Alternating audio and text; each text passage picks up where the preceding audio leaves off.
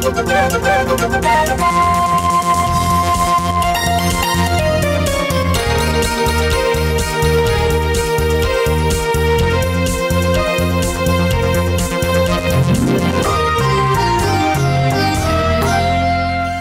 नमस्कार। काठमाडौँ महानगरको दैनिक टेलिभिजन श्रृङ्खला हाम्रो काठमाडौँको आजको अङ्कमा यहाँलाई स्वागत छ। दसबिन स्थानीय तहको निर्वाचनमा समाचार सङ्कलन तथा सम्प्रेषण गर्दा आम समाचार कर्मीहरूले विशेष ध्यान पुर्याउनुपर्छ अनि मात्रै सन्तुलन कायम गर्न सकिन्छ। निर्वाचन आयोगले यतातर्फ आम सञ्चार कर्मीहरूलाई ध्यान दिन आग्रह गरेको छ। लगायतका विषयमा तयार पारिएका सामग्री कार्यक्रमको सुरुवातमा प्रस्तुत छन्। स्थानीय तहको निर्वाचनको वातावरण तयार पार्न आम सञ्चारले खेलेको भूमिका सराहनीय भएको बताउँदै प्रमुख निर्वाचन आयुक्त अयोधी प्रसाद यादवले स्थानीय तहको उम्मेद्वारले शैक्षिक योग्यता र सम्पत्ति विवरण समेत उम्मेद्वारी फारममा उल्लेख गर्नुपर्ने व्यवस्थालाई वैकल्पिक सूचनाका रूपमा माग गरिने जानकारी दिनुभएको छ। त्रिभुवन विश्वविद्यालय केन्द्रीय आम सञ्चार तथा पत्रकारिता विभाग र जापान अन्तर्राष्ट्रिय सहयोग नियोग जाइकाको संयुक्त आयोजनामा राजधानीमा सम्पन्न। आसन्न स्थानीय तह निर्वाचनमा समाचारका विषय र सन्तुलन विषय कार्यशालामा बोल्दै उहाँले यस्तो बताउनु भएको हो। जुन किसिमबाट लोकल बडीलाई इम्पावर गरिएको छ संविधानले त्यसको लागि कस्तो किसिमको व्यवस्थापन हुनु पर्यो भने उम्मेदवारको पनि। यसपालि उम्मेदवारी निर्णय गर्दाखेरि हामीले त संविधानमा शिक्षाको कुरा उल्लेख गरिएको छैन शैक्षिक योग्यता भनेर गरिएको छैन कानुनमा पनि छैन। हामीले अप्सनल रूपमा राखेका छौँ कि हाम्रा उम्मेदवारहरूको योग्यता के छ? त्यो हामीले कानुन अनुसार त्यसलाई बाध्यात्मक गर्न सक्दैनौँ। तर योग्यताको पनि कुरा उहाँले नोमिनेसनमा राखोस् जसले गर्दाखेरि भोलिको दिनमा विश्लेषण गर्न अध्ययन गर्न पनि सजिलो हुन्छ भनेर हामीले त्यो विषय पनि राखेका छौँ। लोकतन्त्र र संघीयता सम्बन्धी व्यवस्थाका विषयमा जानकारी राख्न पाउने नागरिकको अधिकार आम सञ्चारकै कारण सम्भव भएको बताउँदै प्रमुख आयुक्त यादवले गएको फागुन अठार गतेदेखि लागू भएको आचार संहिता पालनामा आम सञ्चारले अहिलेसम्म त्रुटि नगरेको बताउनुभयो। निर्वाचन आचार संहिता दुई हजार तिहत्तर फागुन अठार गतेदेखि लागू गरिसकेको जानकारी गराउन चाहन्छु। मिडियाले पस्किएका सामग्रीहरूबाट आचार संहिताको उल्लङ्घन भई आयोगले हैरानी बिहोर्नु परेको अवस्था नरहेको पनि अनुरोध गर्न जानकारी गर्न चाहन्छु। कार्यशालामा कार्यपत्र प्रस्तुत गर्दै त्रिभुवन विश्वविद्यालय केन्द्रीय आम सञ्चार तथा पत्रकारिता विभागका प्रमुख प्राध्यापक चिरञ्जीवी खनालले नेपालमा सरकारी स्वामित्व र निजी क्षेत्रबाट सञ्चालित आम सञ्चार अभ्यास सम्भावना र चुनौती विश्लेषण गर्दै समाचार संकलन कार्य सन्तुलित हुन नसक्ने कारण केलाउनु भएको थियो। गभर्मेन्ट ओन मिडिया भएको हुनाले पनि कहिलेकाहीँ इलेक्सनको इम्पार्सियालिटीको कुरा गर्दाखेरि क्वेसन उठ्न सक्छ।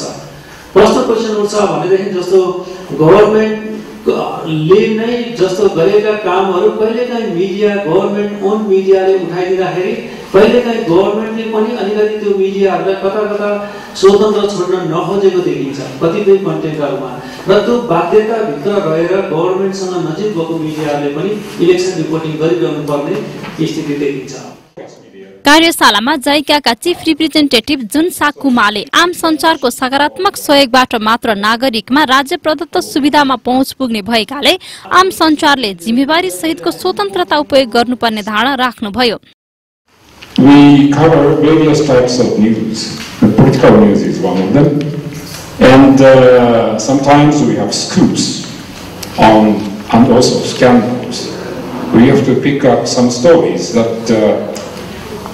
The politicians or governments you know, but that is also an important role of media. We have to tell the facts. We have to tell the important information to our audience. कार्यशालामा निर्वाचन अवधिमा प्रसारण सञ्चार तथा छापा प्रकाशनका सामग्रीलाई सन्तुलन बनाउने यसका लागि जापानमा भएको अभ्यास र सूचना वितरण एवं एजेन्डा सेटिङ लगायतका विषयमा कार्यपत्र प्रस्तुत गरिएका थिए Newspaper or online, we should be, we should uh, think that we are given the chance to uh, tell them that we are here. कार्यशालामा आसन्न स्थानीय तहको निर्वाचनमा समाचार लेखन वाचन सूचना प्रशोधन तथा वितरण गर्ने आम सञ्चारमा आबद्ध सञ्चार कर्मीहरूको सहभागिता थियो।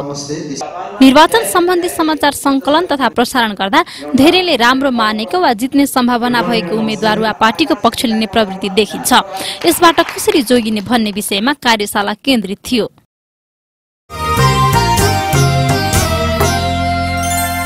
तसबिर बहत्तर सालको भूकम्पको कम्पनले क्षति पुर्याएका काठमाडौँभित्रका केही सांस्कृतिक सम्पदाहरू जुन स्थानीय पहलमा पुनर्निर्माण थालनी भइसकेका छन्। विषयमा तयार पारिएको सामग्री गएको अङ्कमा पनि हामीले प्रस्तुत गरेका थियौँ। त्यसै श्रृङ्खलालाई आएर कार्यक्रमको यो खण्डमा हामी जोड्ने प्रयासमा छौँ। अबको प्रस्तुतिमा।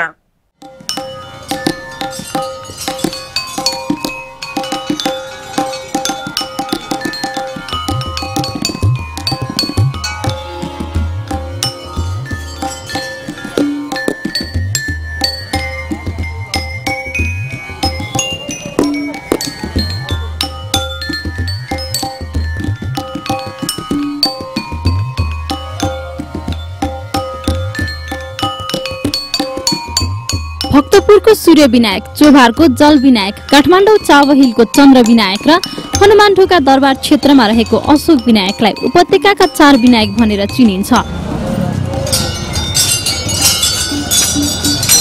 सोही अनुसार यी गणपतिहरूको पूजन पनि गरिन्छ। हनुमान ढोकाको मरुटोलमा विराजित अशोक विनायकलाई मरु गणेश साथै हनुमान ढोका गणेश पनि भनिन्छ।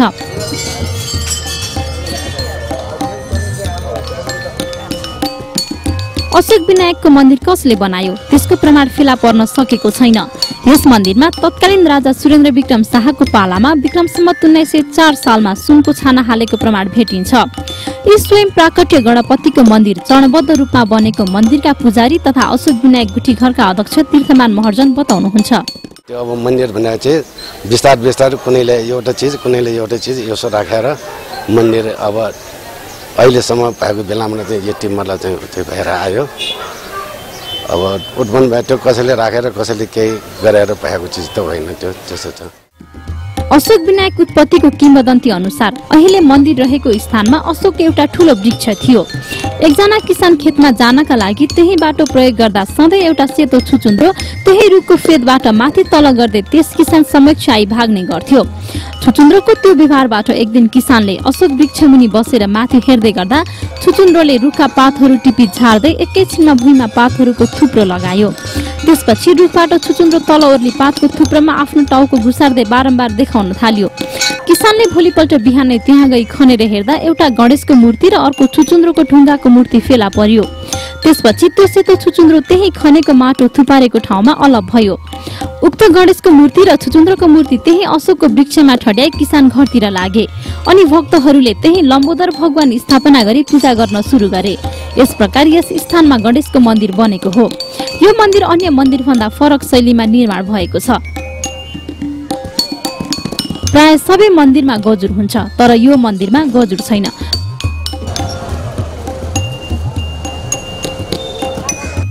परापूर्व समयमा गणेश भगवानलाई देवताहरूको सभामा जान सहज होस् भने गजुर नबनाएको किम्बदन्ती छ। मन्दिर मात्र होइन प्रतिस्थापित गणेशको मूर्ति पनि फरक छ। अन्य मूर्तिमा दुई वा चार हात हुने भए पनि अशोक विनायकका छ हात देखाइएका छन्। जहिले पनि मलाई चाहिँ ढगत ठुनाएर कता त्यो मान्छे भिड भएको कारणले मान्छेलाई अगाडि जाँदाखेरि डेढो जाँदाखेरि अलिकति हावाले के के भएर मान्छे चाहिँ लड्यो भनेको कुरा त्यो त्यसमा त्यो त्यस कारणले त्यहाँबाट अगाडिबाट ढगबाट नगइकन मलाई चाहिँ गजरबाट माथि जाने परेको कारणले चाहिँ गजर नराखेको भन्ने चाहिँ कुरा यस्तो छ। नेपाल भाषामा मरु भन्नाले छैन भन्ने अर्थ लाग्छ। गजुर नभएको मन्दिर भएकाले त्यहाँ आउने स्थानीय नेवारहरूले गजु मरु गजुर छैन भन्दा भन्दै मरु गणेश भन्न थाले। त्यस्तै अशोक वृक्षको रुखमा रहेकाले अशोक विनायक भनेर प्रसिद्धि पायो। यी गजाननलाई राष्ट्रका गणेश भनेर पनि पुजिन्छ। देशमा राजतन्त्र रहुन्जेलसम्म यस मन्दिरमा हरेक मङ्गलबार र विशेष तिथि तथा चाडका दिन राजदरबारबाट पूजा सामग्रीलाई पूजा गरिन्थ्यो। गत चैत सत्र गते पनि पूर्व राजा ज्ञानेन्द्र शाहका नाति हृदयेन्द्र शाहको उपनयन संस्कार पश्चात उनलाई मन्दिरको दर्शन गर्न ल्याइएको थियो।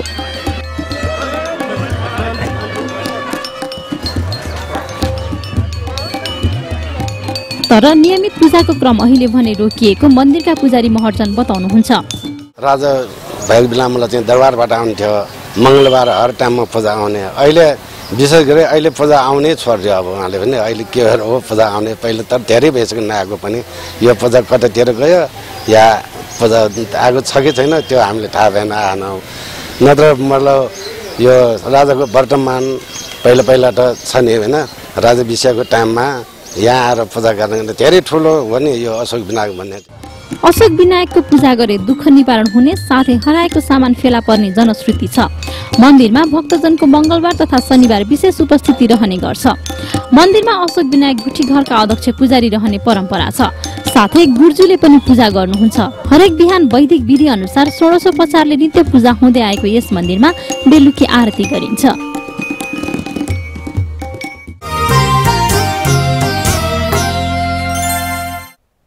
त्यसो भने भूकम्पको कम्पनले भत्किएका बिग्रिएका सांस्कृतिक सम्पदाहरूको पुनर्निर्माण गर्ने क्रममा स्थानीयलाई सहभागी गराउन सकियो भने उनीहरूले त्यसको स्वामित्व लिन सक्छन्। तिनीहरूको मर्म सम्भार र उपयोगितामा ध्यान पुर्याउन सक्छन् ख्याल पुर्याउन सक्छन्। त्यसैले पनि यस्ता भौतिक सांस्कृतिक सम्पदाहरूको पुनर्निर्माण गर्दा सरकारले स्थानीयहरूलाई सँगै लिएर जानुपर्छ आवाज उठिरहेका छन्। सन्दर्भसँगै आजका लागि हाम्रो निर्धारित समय पुरा भएको छ। आगामी श्रृङ्खलामा थप विषयका साथ भेटघाटका लागि फेरि आउनेछौँ गर्नेछौँ। त्यतिन्जेलसम्मका लागि कार्यक्रमबाट आज्ञा चाहन्छौँ। बाँकी प्रस्तुतिहरूकै साथमा रहनुहोला। नमस्कार।